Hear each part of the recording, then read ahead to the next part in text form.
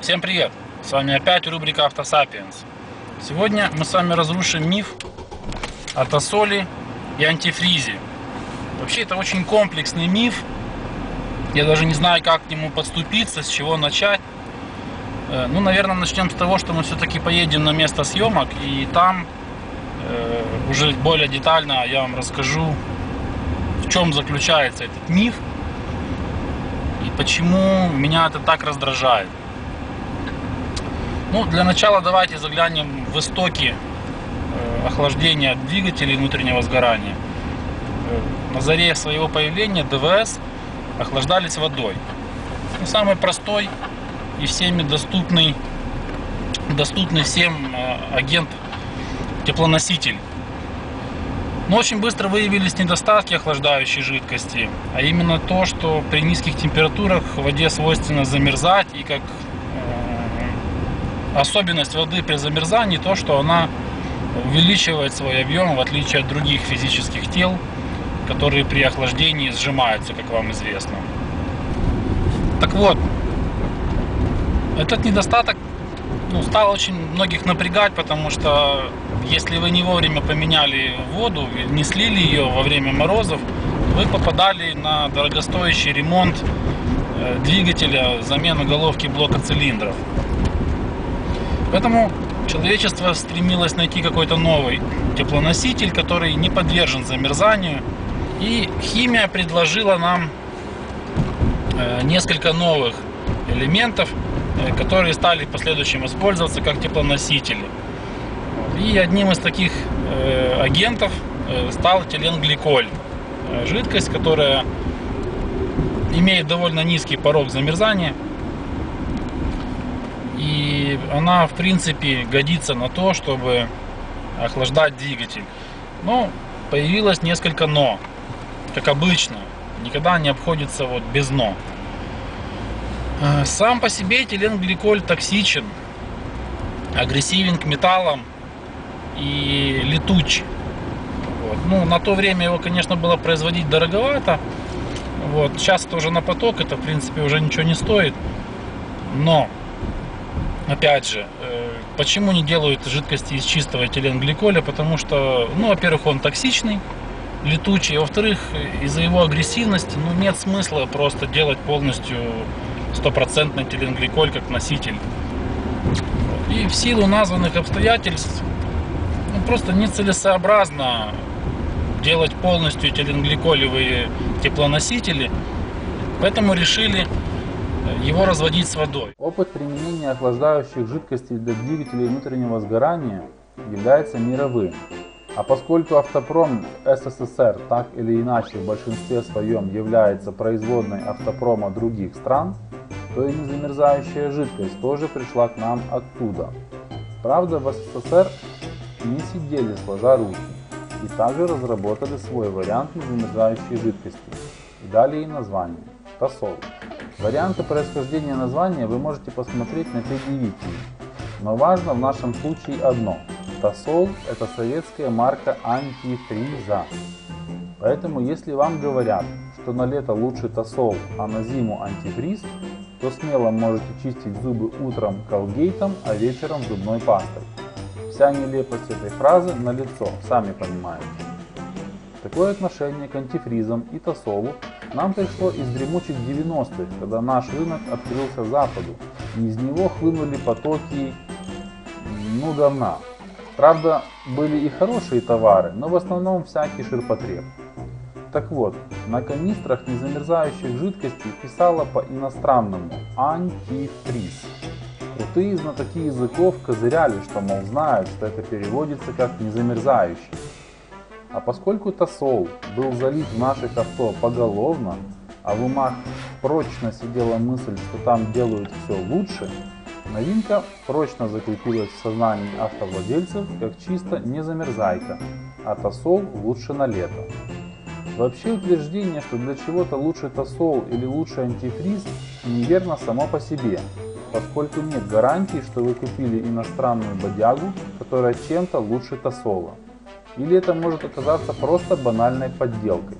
Состав может различаться, но не существенно, но об этом позже. Наверное, самый распространенный миф – это про цвет антифриза.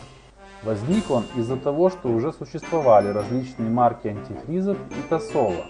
Покупая авто новое или с рук, не знаешь, что же там залито с завода или прежним автовладельцем. Что делать, если нужно долить совсем чуток, не менять же всю жидкость целиком? Во времена СССР уже существовали по крайней мере два вида тосола. Это тосол 40 и тосол 65. Были они соответственно красного и синего цвета. Так в чем же была разница? Разница в том, что цифра в названии означала порог температуры замерзания в градусах по Цельсию ниже нуля. Как правило, инженеры дают название своим детищам, исходя из практичных характеристик. Например, было такое устройство, как ZU10APT. Это означало зарядное устройство с максимальной мощностью 10 ампер постоянного тока. Ну, это я так, к примеру, выдумал, чтобы показать вам наглядность. Так вот, Тосол 40 отличался от Тосола 65 не только цветом, а и массовым содержанием этиленгликоля на единицу объема. Чем больше массовая часть этиленгликоля в смеси, тем ниже температура, при которой эта смесь замерзает. Родина наша была значительно больше, и температурный диапазон был тоже весьма широк. Вы уже начинаете понимать, что если вы ливанете 40 в 65 или наоборот, то ничего с вашим антифризом не произойдет. Вообще не произойдет. Если вы вливаете 40 в 65, то просто повышаете нижний порог замерзания. А если 65 в 40, то снижаете. Цвет антифриза придуман для удобства, поскольку смесь этиленгликоля с водой бесцветна. Это не очень удобно для контроля за уровнем в бачке. Кроме того, легко визуально определить, какой антифриз вам нужен и какую температуру он может выдержать. Кроме того, краситель является индикатором старости жидкости или ее оригинальности. Изменение цвета антифриза может говорить о подделке, о том, что жидкость потеряла свои свойства или начались признаки коррозии. А уж в плане цвета, то тут дело вкуса. Краситель не влияет в данном случае вообще ни на что.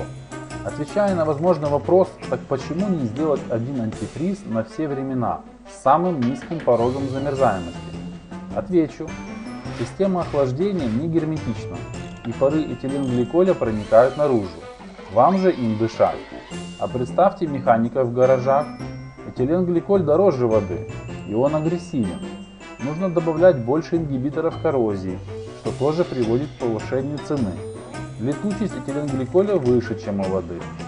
Усекаете в чем суть? Но в случае СССР все понятно. Было всего два вида антифриза. Это Тосол 40 и Тосол 65.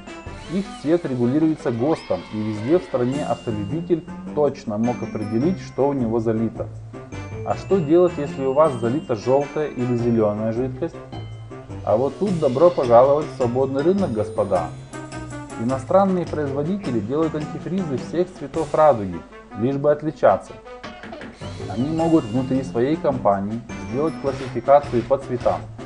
Например, бюджетный вариант синего цвета, основной класс желтый, а премиум сегмент зеленый.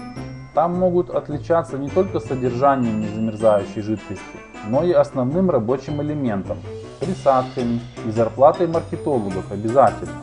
Зарплата маркетологов обычно решает. Но я вам говорю, подавляющее большинство это обычная смесь этиленгликоля с водой. Ну плюс пара присадок от коррозии, вспенивания и все. Остальное это больше понты. На сегодняшний день, по крайней мере, классика уверенно держит лидерство. Если антифриз какой-то там супер-пупер навороченный и новомодный, стоит он дорого. Ну а по факту часто оно того не стоит.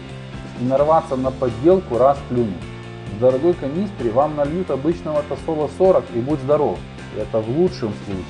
Ходит масса легенд о том, что если ливануть разные по цветам антифризы, то будет полный пипец, вплоть до появления разного осадка, там, мифических хлопьев, например. Я вам скажу, это все ерунда. Мы рассмотрели, чем отличаются антифризы и поняли, что ничем особо они и не отличаются вовсе. Следовательно, можно смело лить красный в синий Я в частности заливал зеленый в желтый, который у меня был с салона и никаких проблем у вас совершенно не будет. Но я был бы не прав, если бы не сказал, что некоторые присадки могут взаимонейтрализоваться в случае смешивания. Это так, но производство антифризов уже настолько отточено, что присадки отличаются друг от друга совсем незначительно. Вот фармацевты меня хорошо сейчас понимают. Парацетамол рулит, но стоит добавить к нему полпроцента какого-то экстракта шалфея, подсластитель, краситель и вуаля, готов какой-нибудь антигриппин, противосоплин, взбодрин и тому подобное. Это все зависит от фантазии и от того, что уже есть на рынке. Точно так же и здесь. Что-то новое – это пока что редкость, и обычно эта редкость дорогая. Если вы не обладаете чем-нибудь вроде Кларксоновского A Piece of Brilliant British Engineering, A Range Rover, то вам в принципе пофиг, но появление осадков вполне возможно. Дело в том, что присадки, которые направлены против вспенивания и смазывания помпы, могут спровоцировать коллапс разного рода примесей, которые могут содержаться в подделке.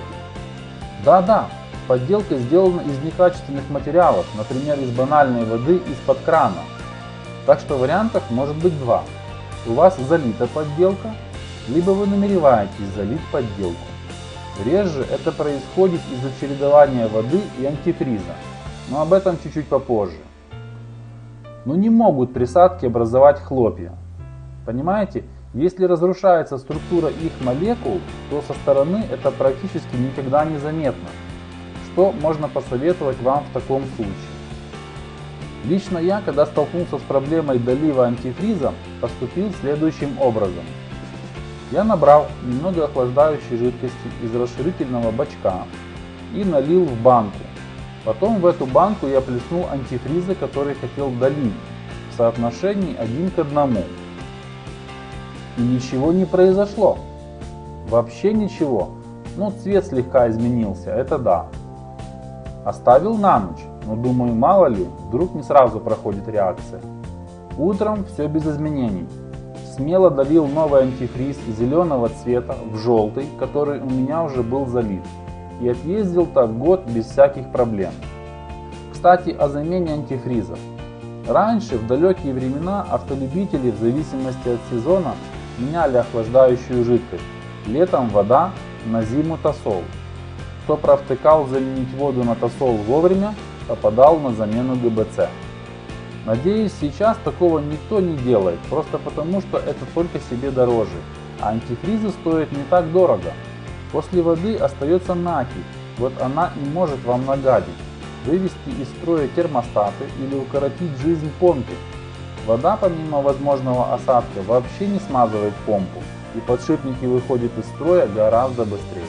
Это я все к тому, что замена антифриза тоже не прощает халатного отношения. Антифриз, как и масло, полностью из двигателя слить невозможно из-за конструкции каналов и законов физики. Потому промывать водой я вам не рекомендую. Она даже за 5 минут внесет свой вклад в износ подшипников помпы. Плюс она останется в каналах и разбавит антифриз, который вы вливаете в систему. Потому промывка имеет смысл, если у вас есть острая необходимость в этом. Если вы все делали правильно во время эксплуатации вашего авто, то промывать систему охлаждения не имеет смысла. Просто делайте тест на совместимость, как я говорил раньше, и если все в порядке, просто сливаете старый антифриз, заливаете новый и едете по своим делам. Вот и все. Надеюсь, это видео было вам полезным. Ставьте лайки, подписывайтесь на мой канал. Всем пока!